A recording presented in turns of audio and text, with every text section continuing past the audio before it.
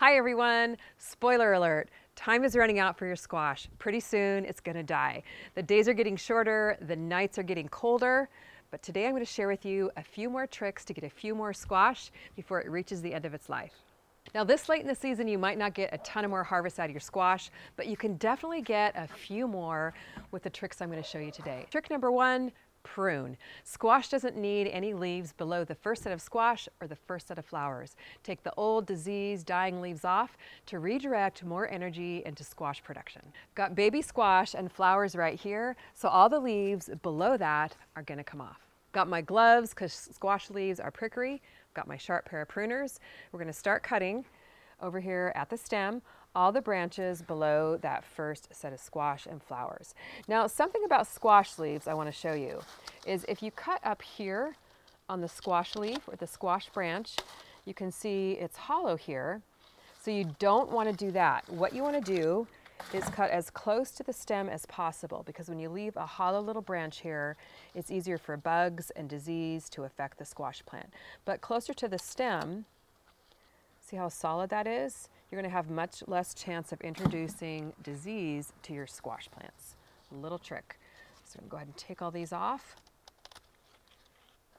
to give our squash plant a lot more energy to produce the squash. It's also going to give a lot more airflow to your plant, which helps reduce the chance that you're going to get late season powdery mildew on your squash plant. Just keeps it healthier. You do want to be really careful that you don't cut the main stem when you're doing this.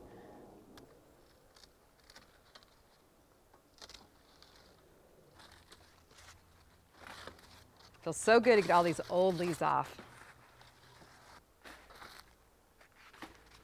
Now your squash will wilt as you prune it. Not to worry, it's gonna perk up in a couple of days, especially when we do trick number two, which is feeding your plants. At this point in the growing season, it's expended a lot of energy into producing squash. So we need to give it some more food to perk it up and give it more energy to produce more squash. First, we're gonna put some compost at the base of the plant. This compost I made here in my own garden. I spread some around the base. Kind of scratch it in for a nice little nutrient dose. Compost will feed your plants over the next month or so. Now we want to give it a quick hit of some water soluble fertilizer that'll feed your plants right away. And we're going to use the Vermisterra Vitality. My favorite go-to really keeps the plants healthy, which will really help here with the end of the season disease that always tends to creep in. So put some here in the watering can and then we're going to water in the compost with the Vermisterra Vitality. And this will really help your plant, your squash plant, perk up here and start to produce more fruit. Give it a nice deep soaking.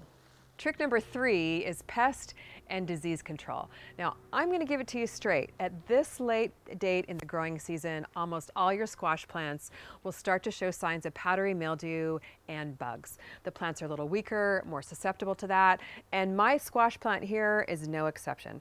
I've definitely got some aphids here on my plant, and even just kind of bumping my plant here, there's little bugs that are flying around.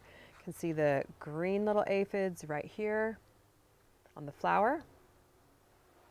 There's some black bugs here, probably white flies of some kind.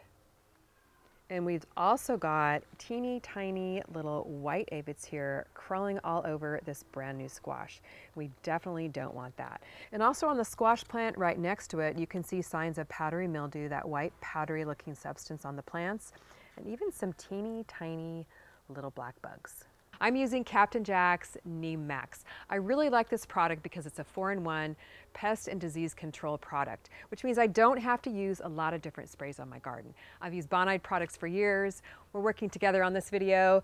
So what I'm gonna do is pour the concentrate in the spray bottle mixed with water. Another reason I really like NeemMax is not only does it control the disease, disrupts the life cycle of the chewing and sucking insects, but it also kills all stages of the insects, the eggs, the larvae, and the adults. So I'm going to start by spraying the soil in case there's disease or insects that might be in the soil.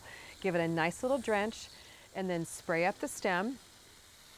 And then I'm going to spray the leaves, the top of the leaves, the bottom of the leaves until it's dripping wet. I'm going to avoid the flowers And I always spray in the morning or in the evening, not in the heat of the day, and always do a test spray first. So instead of the plant having to fight off disease and pests, it can put all of its energy into producing you a few more squash before the end of the season. Trick number four to get a few more squash is to hand pollinate. Especially helpful this late in the season as the bee activity declines as the weather gets cooler. So let me show you a few squash on this plant that have not been pollinated properly and the squash isn't growing. You can see here these little baby squash are soft and mushy and just shriveling up means the bees didn't get to this to pollinate it. You do need to make sure you have both male and female flowers on your plant to hand pollinate. So you do need to know the difference between a male flower and a female flower. So here's a little female flower here. And we know this because at the end of the female flower is a swollen little baby fruit. So we're good with that one. And the male flower is right over here and it just has a stem attached to it, no little fruit at the bottom. First what we're gonna do, typically you wanna do this in the morning when the flowers are open, but the flowers aren't open today so we're gonna open it for them. Um, so you can use a couple little things to hand pollinate, either a little makeup brush or a Q-tip.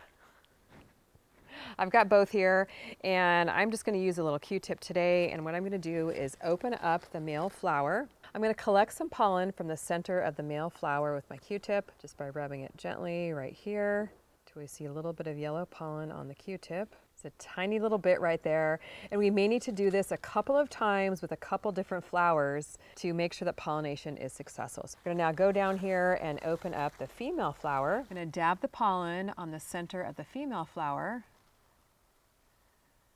So we'll kind of help the bees out and help that fruit start to grow so you get some more squash.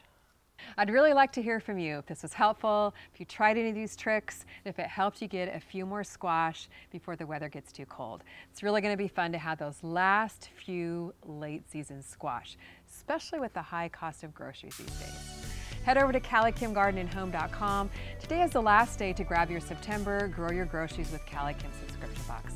You definitely don't want to miss this one. It's a good one. Get $9 off with the code FUNFALLGREENS and that ends today. Thanks so much for watching. We'll see you on the next video.